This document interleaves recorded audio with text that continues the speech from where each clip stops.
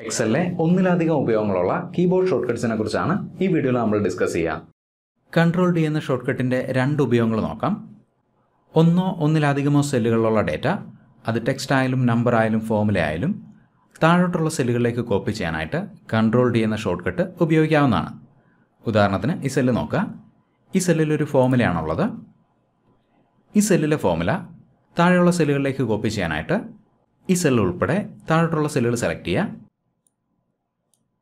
Control T നോക്കുക. ആദ്യത്തെ സെല്ലിലെ ഫോമുല താഴെയുള്ള സെല്ലുകളിലേക്ക് കോപ്പി ചെയ്യപ്പെട്ടത് കാണാം. ഈ രണ്ട് സെല്ലുകളിലെ ഡേറ്റ താഴെയുള്ള സെല്ലുകളിലേക്ക് കോപ്പി ചെയ്യാനായിട്ട് ഈ രണ്ട് സെല്ലുൾപ്പെടെ താഴോട്ടുള്ള സെല്ലുകൾ സെലക്ട് ചെയ്യുക. കൺട്രോൾ ടി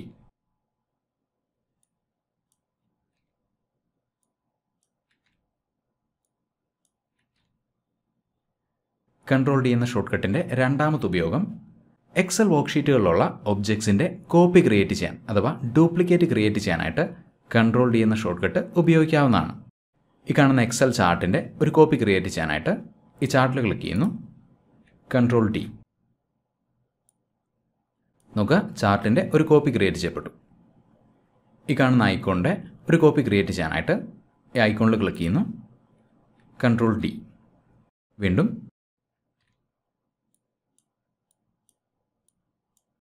ഇനി ഈ പിക്ചറിന്റെ കോപ്പി ക്രിയേറ്റ് ചെയ്യണമെങ്കിൽ ഈ പിക്ചറിൽ ക്ലിക്ക് ചെയ്യുന്നു. Control D Excel control A എന്ന കീബോർഡ് ഷോർട്ട് കട്ടിന് ഏറ്റവും കുറഞ്ഞത് നാല് ഉപയോഗങ്ങളെങ്കിലും ഉണ്ട്. അതിലാദ്യത്തേത് ആക്റ്റീവ് സെല്ലിന്റെ കറണ്ട് റീജിയൻ സെലക്ട് ചെയ്യുക എന്നുള്ളതാണ്. ഉദാഹരണത്തിന് ഈ കാണുന്ന ടേബിൾ സെലക്ട് ചെയ്യണമെങ്കിൽ ഇവിടെയുള്ള ഏതെങ്കിലും ഒരു സെല്ല് ക്ലിക്ക് ചെയ്യുക. കൺട്രോൾ എ നോക്കുക ഈ എന്റയർ ടേബിൾ സെലക്ട് ചെയ്യപ്പെട്ടാൽ കാണാം. വീണ്ടും ഈ കാണുന്ന ടേബിൾ സെലക്ട് ചെയ്യണമെങ്കിൽ ഇവിടെയുള്ള ഏതെങ്കിലും ഒരു സെൽ സെലക്ട് ചെയ്യുക. കൺട്രോൾ എ വീണ്ടും ഒരു തവണ കൂടെ കൺട്രോൾ എ പ്രസ് ചെയ്ത് കഴിഞ്ഞാൽ നോക്കുക എന്റയർ വർക്ക്ഷീറ്റ് സെലക്ട് ചെയ്യപ്പെട്ടാൽ കാണാം. അതായത് രണ്ട് തവണ കൺട്രോൾ എ പ്രസ് ചെയ്ത് കഴിഞ്ഞാൽ എന്റയർ വർക്ക്ഷീറ്റ് സെലക്ട് ചെയ്യപ്പെടും. അതുപോലെ തന്നെ ബ്ലാങ്ക് സെല്ലുകളാൽ ചുറ്റപ്പെട്ട അതായത് ഡേറ്റയൊന്നും ഇല്ലാത്ത സെല്ലുകളാൽ ചുറ്റപ്പെട്ട ഒരു സെല്ല് സെലക്ട് ചെയ്ത് കൺട്രോൾ എ പ്രസ് ചെയ്ത് കഴിഞ്ഞാൽ എന്റയർ വർക്ക്ഷീറ്റ് സെലക്ട് ചെയ്യപ്പെടും. കൺട്രോൾ എന്ന ഷോർട്ട് കട്ടിന്റെ രണ്ടാമത്തെ ഉപയോഗം ഒരു എക്സൽ വർക്ക്ഷീറ്റിലെ എല്ലാ ഒബ്ജക്ട്സിനെയും സെലക്ട് ചെയ്യാനായിട്ട് കൺട്രോൾ എ എന്ന ഷോർട്ട് കട്ട് ഉപയോഗിക്കാവുന്നതാണ്. ഈ എക്സൽ വർക്ക്ഷീറ്റിലെ ഒബ്ജക്ട്സ് നോക്കുക. ഇവിടെ ഒരു ടെക്സ്റ്റ് ബോക്സ് കാണാം. മൂന്ന് ഐക്കോൺസ് ഒരു എക്സൽ ചാർട്ട് ഒരു പിക്ചർ ഇനി എല്ലാ ഒബ്ജക്ട്സിനെയും സെലക്ട് ചെയ്യണമെങ്കിൽ ഇതിലേതെങ്കിലും ഒരു ഒബ്ജക്റ്റിൽ ക്ലിക്ക് ചെയ്യുക. കൺട്രോൾ എ നോക്കുക. എല്ലാ ഒബ്ജക്ട്സും സെലക്ട് ചെയ്യപ്പെട്ടാൽ കാണാം. വീണ്ടും കൺട്രോൾ എ ഒരു വർക്ക്ഷീറ്റിലെ എല്ലാ ഒബ്ജക്ട്സിനെയും മറ്റൊരിടത്തേക്ക് മൂവ് ചെയ്യാനും വേറൊരു വർക്ക്ഷീറ്റിലേക്ക് പ്ലേസ് ചെയ്യാനും ഒക്കെ ഈ ഷോർട്ട് കട്ട് ഉപയോഗിക്കാവുന്നതാണ്. ഈ സെലക്ട് ചെയ്യപ്പെട്ട ഒബ്ജക്ട്സിനെ വേറൊരു വർക്ക്ഷീറ്റിലേക്ക് മൂവ് ചെയ്യണമെങ്കിൽ കൺട്രോൾ എക്സ് പുതിയൊരു വർക്ക്ഷീറ്റ് ഇൻസേർട്ട് ചെയ്യുന്നു. കൺട്രോൾ വി കൺട്രോൾ എന്ന കീബോർഡ് ഷോർട്ട് കട്ടിന്റെ മൂന്നാമത്തെ ഉപയോഗം ഈ കാണുന്ന സെല്ലുകളിൽ എത്ര സെല്ലുകളിൽ ആപ്പിൾ എന്ന വാക്ക് വന്നിട്ടുണ്ടെന്നുള്ളത് കണ്ടെത്താനായിട്ട് ഈക്വൽ കൗണ്ട് ഇഫ് നോക്കുക. ഇവിടെ കൗണ്ട് ഇഫ് ഫംഗ്ഷൻ ലിസ്റ്റ് ചെയ്തിരിക്കുന്ന കാണാം. കൗണ്ട് ഇഫ് ഫംഗ്ഷന് രണ്ട് ആർഗ്യുമെന്റ്സ് ആണുള്ളത്. ഒന്ന് റേഞ്ച് രണ്ട് ക്രൈറ്റീരിയ കൗണ്ട് ഇഫ് ഫംഗ്ഷൻ സ്ഥിരമായിട്ട് ഉപയോഗിക്കുന്നവർക്ക് ഈ ആർഗ്യുമെന്റ്സ് എങ്ങനെയാണ് ഉപയോഗിക്കേണ്ടതെന്നുള്ളതിൽ സംശയമൊന്നും ഉണ്ടാവില്ല. എന്നാൽ ആദ്യമായിട്ട് കൗണ്ട് ഇഫ് ഫംഗ്ഷൻ ഉപയോഗിക്കുന്നവർക്ക് കൗണ്ട് ഇഫ് ഫംഗ്ഷൻ എന്നല്ല ഏതൊരു എക്സൽ ഫംഗ്ഷൻ ഉപയോഗിക്കുന്ന ഒരാൾക്കും ആ ഫംഗ്ഷന്റെ ആർഗ്യുമെൻസിനെ കുറിച്ച് കൂടുതൽ അറിയണമെങ്കിൽ കൺട്രോൾ എ എന്ന ഷോർട്ട് കട്ട് ഉപയോഗിക്കുക. കൺട്രോൾ എ നോക്കുക ഫംഗ്ഷൻ ആർഗ്യുമെന്റ്സ് എന്ന് ഡയലോഗ് ബോക്സ് വന്നാൽ കാണാം. കൗണ്ടി ഫംഗ്ഷന്റെ ആർഗ്യുമെന്റ്സ് നോക്കുക. ഒന്നാമത്തേത് റേഞ്ച് റേഞ്ച് എന്ന ആർഗ്യുമെന്റിന്റെ എക്സ്പ്ലനേഷൻ ഇവിടെ കാണാം. അടുത്തത് ക്രൈറ്റീരിയ ക്രൈറ്റീരിയ എന്ന ലേബലിന് നേരെയുള്ള ഇൻപുട്ട് ബോക്സിൽ ക്ലിക്ക് ചെയ്യുന്നു. ക്രൈറ്റീരിയ എന്ന ആർഗ്യുമെന്റിന്റെ എക്സ്പ്ലനേഷൻ ഇവിടെ കാണാം. കഴിഞ്ഞില്ല. ഈ ഇൻപുട്ട് ബോക്സുകൾ ഉപയോഗിച്ചുകൊണ്ട് ഈ ആർഗ്യുമെന്റ്സ് നമുക്ക് ഡിഫൈൻ ചെയ്യാൻ സാധിക്കും. ഈ സെല്ലുകളിൽ എത്ര സെല്ലുകളിൽ ആപ്പിൾ എന്ന വാക്ക് വന്നിട്ടുണ്ടെന്നുള്ളതാണ് നമുക്ക് കണ്ടെത്തേണ്ടത്. സോ റേഞ്ച് എന്നത് ഈ കാണുന്ന സെല്ലുകളാണ് റേഞ്ച് എന്ന ലേബലിന് നേരെയുള്ള ഇൻപുട്ട് ബോക്സിൽ ക്ലിക്ക് ചെയ്യുക. ഈ കാണുന്ന സെല്ലുകൾ സെലക്ട് ചെയ്യുന്നു. B three to B eleven അടുത്തത് ക്രൈറ്റീരിയ ഈ സെല്ലുകളിൽ എത്ര സെല്ലുകളിൽ ആപ്പിൾ എന്ന വാക്ക് വന്നിട്ടുണ്ടെന്നുള്ളതാണ് നമുക്ക് കണ്ടെത്തേണ്ടത്. സോ ആപ്പിൾ എന്ന വാക്കാണ് ക്രൈറ്റീരിയ ക്രൈറ്റീരിയ ഡിഫൈൻ ചെയ്യാനായിട്ട് ഇവിടെ ക്ലിക്ക് ചെയ്യുന്നു. Double quotes apple double quotes നോക്കുക ക്രൈറ്റീരിയ ഡിഫൈൻ ചെയ്ത അതേ നിമിഷം ഫോർമുലയുടെ റിസൾട്ട് ഇവിടെ വന്നാൽ കാണാം. നാല്. ഇവിടെ നോക്കിക്കഴിഞ്ഞാൽ നാല് സെല്ലുകളിൽ ആപ്പിൾ എന്ന വാക്ക് കാണാൻ സാധിക്കും. ഇനി ഗ്രേപ്പ് എന്ന വാക്കിന്റെ എണ്ണമാണ് കണ്ടെത്തേണ്ടതെങ്കിൽ ആപ്പിളിന് പകരം double quotes grape double quotes നോക്കുക ഫോർമുലയുടെ റിസൾട്ട് അപ്ഡേറ്റ് ചെയ്യപ്പെട്ടാൽ കാണാം. മൂന്ന്. ഇവിടെ നോക്കിയാൽ മൂന്ന് സെല്ലുകളിൽ ഗ്രേപ്പ് എന്ന വാക്ക് കാണാൻ സാധിക്കും. ഇൻപുട്ട് ബോക്സിൽ നമ്മൾ ആർഗ്യുമെന്റ്സ് ഡിഫൈൻ ചെയ്യുന്നതിനനുസരിച്ചിട്ട് ഫോമുലയും അപ്ഡേറ്റ് ചെയ്യപ്പെടുന്ന കാണാം. ഇനി ഫോമുല കൺഫേം ചെയ്യാനായിട്ട് ഓക്കെ ഇങ്ങനെ ഏത് എക്സൽ ഫംഗ്ഷനെക്കുറിച്ച് കൂടുതൽ അറിയാനായിട്ടും ഫംഗ്ഷൻ ആർഗ്യുമെന്റ്സ് എന്ന ഡയലോഗ് ബോക്സ് ഉപയോഗിക്കാവുന്നതാണ്.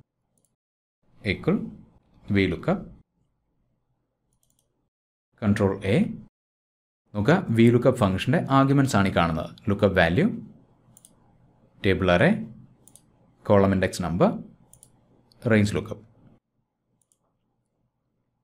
control എന്ന ഷോർട്ട് കട്ടിന്റെ നാലാമത്തെ ഉപയോഗം. ഒരു സെല്ലിലെ കണ്ടന്റ് അത് ടെക്സ്റ്റ് ആയാലും നമ്പർ ആയാലും ഫോമിലായാലും സെലക്ട് ചെയ്യാനായിട്ട് കൺട്രോൾ എന്ന ഷോർട്ട് കട്ട് ഉപയോഗിക്കാവുന്നതാണ്. ഈ സെല്ല് നോക്കുക. ഇവിടെ ഒരു ടെക്സ്റ്റ് ആണുള്ളത്. ആ ടെക്സ്റ്റ് സെലക്ട് ചെയ്യാനായിട്ട് ഇവിടെ ഡബിൾ ക്ലിക്ക് ചെയ്യുന്നു. കൺട്രോൾ എ നോക്കുക ഈ സെല്ലിലെ ടെക്സ്റ്റ് സെലക്ട് ചെയ്യപ്പെട്ടാൽ കാണാം. ഈ സെല്ലിലൊരു നമ്പറാണുള്ളത് ഇവിടെ ഡബിൾ ക്ലിക്ക് ചെയ്യുന്നു. കൺട്രോൾ എ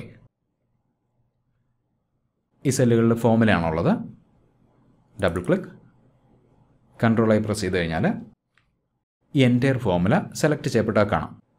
ഈ ഫോമുല മറ്റൊരിടത്തേക്ക് കോപ്പി ചെയ്യണമെങ്കിൽ കൺട്രോൾ സി എസ്കേപ്പ് ഇവിടെ പേസ്റ്റ് ചെയ്യാനായിട്ട് double click control V enter ഒന്നിലധികം വരികളുള്ള സെല്ലുകളിൽ നിന്ന് ഡേറ്റ സെലക്ട് ചെയ്യാനായിട്ടും കൺട്രോൾ എന്ന ഷോർട്ട് കട്ട് ഉപയോഗിക്കാവുന്നതാണ്. നോക്കുക ഈ സെല്ലിൽ നാല് വരികളിലായിട്ട് ഡേറ്റ കാണാം. ഈ ഡേറ്റ സെലക്ട് ചെയ്യാനായിട്ട് ഡബിൾ ക്ലിക്ക് കൺട്രോൾ എ വീണ്ടും കൺട്രോൾ എ ഡേറ്റ കോപ്പി ചെയ്യാനായിട്ട് control C control V to paste F four എന്ന കീബോർഡ് ഷോർട്ട് കട്ടിന്റെ രണ്ട് ഉപയോഗങ്ങളൊന്ന് റിപ്പീറ്റ് ലാസ്റ്റ് ആക്ഷൻ ആണ്. ഉദാഹരണത്തിന് ഈ കാണുന്ന സെല്ലുകൾക്ക് ഞാൻ യെല്ലോ ബാക്ക്ഗ്രൗണ്ട് കളർ അപ്ലൈ ചെയ്യുന്നു. സെല്ലുകൾ സെലക്ട് ചെയ്യുന്നു. ഫിൽ കളർ യെല്ലോ അതായത് സെല്ലുകൾക്ക് യെല്ലോ ബാക്ക്ഗ്രൗണ്ട് കളർ അപ്ലൈ ചെയ്യുക എന്നുള്ളതാണ് തൊട്ട് മുമ്പ് ഞാൻ ചെയ്ത ആക്ഷൻ ഇനി ഈ ആക്ഷൻ മറ്റ് സെല്ലുകളിൽ റിപ്പീറ്റ് ചെയ്യണമെങ്കിൽ ഉദാഹരണത്തിന് ഈ കാണുന്ന മൂന്ന് സെല്ലുകൾക്ക് യെല്ലോ ബാക്ക്ഗ്രൗണ്ട് കളർ അപ്ലൈ ചെയ്യണമെങ്കിൽ സെല്ലുകൾ സെലക്ട് ചെയ്യുന്നു. എഫ് ഫോർ നോക്കുക സെല്ലുകൾക്ക് യെല്ലോ ബാക്ക്ഗ്രൗണ്ട് കളർ വന്നാൽ കാണാം. വീണ്ടും എഫ്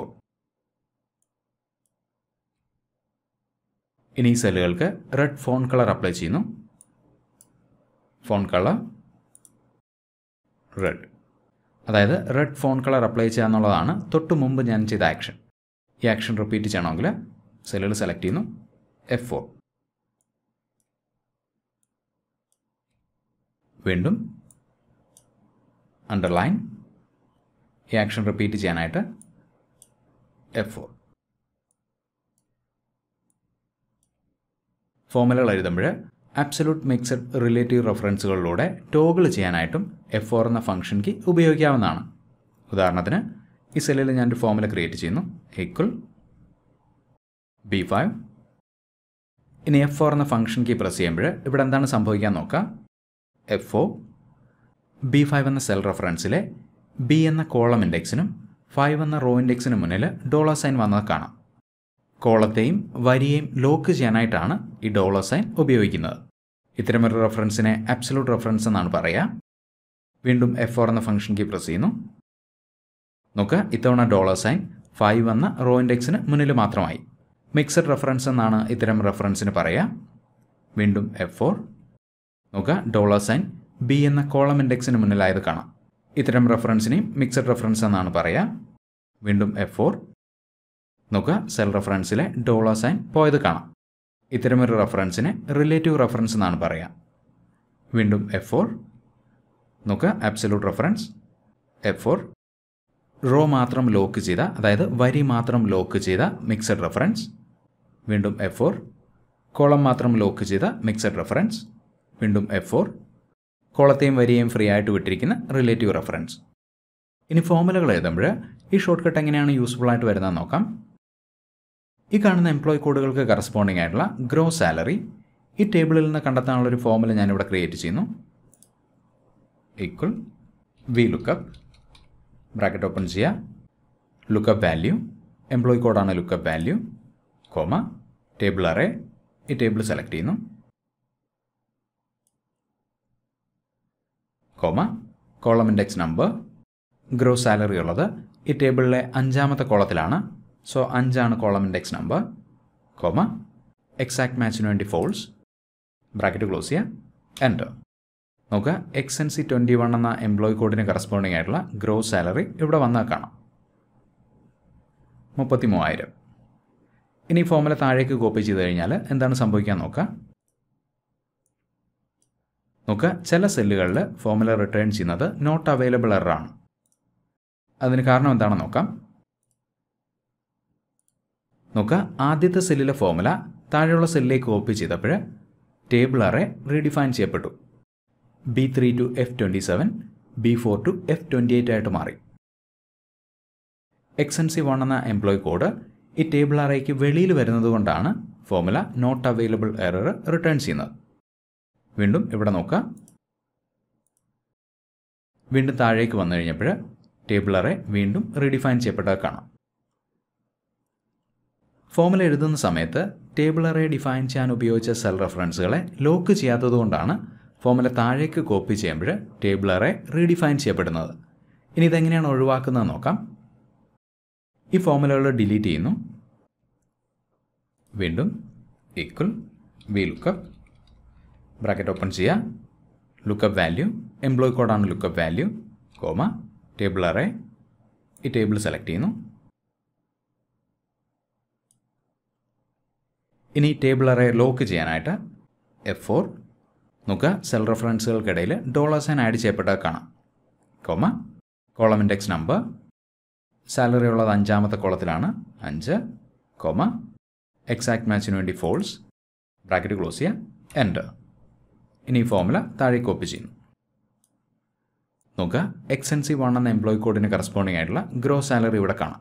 അൻപത്തി അയ്യായിരത്തി അഞ്ഞൂറ് എക്സ് എൻ സി ടു നാൽപ്പത്തി മൂവായിരത്തി അഞ്ഞൂറ് ഇനി ഫോമുല ചെക്ക് ചെയ്ത് കഴിഞ്ഞാൽ ടേബിൾ അറേക്ക് മാറ്റമൊന്നും വന്നിട്ടില്ല എന്ന് കാണാം. ഒന്നിലധികം ഉപയോഗങ്ങളുള്ള മൂന്ന് കീബോർഡ് ഷോർട്ട് കട്ട്സ് ആണ് നമ്മളോട് ഡിസ്കസ് ചെയ്തത്. ഇതിന് പുറമെ മൾട്ടിപ്പിൾ യൂസസ് ഉള്ള എക്സൽ ഷോർട്ട് കട്ട്സ് നിങ്ങൾക്ക് അറിയാമെങ്കിൽ ദയവായിട്ട് കോമന്റ് സെക്ഷനിൽ ഷെയർ ചെയ്യുക. മറ്റൊരു എക്സൽ ടിപ്പുമായിട്ട് വീണ്ടും കാണാം. Thank you for watching and wish you a great day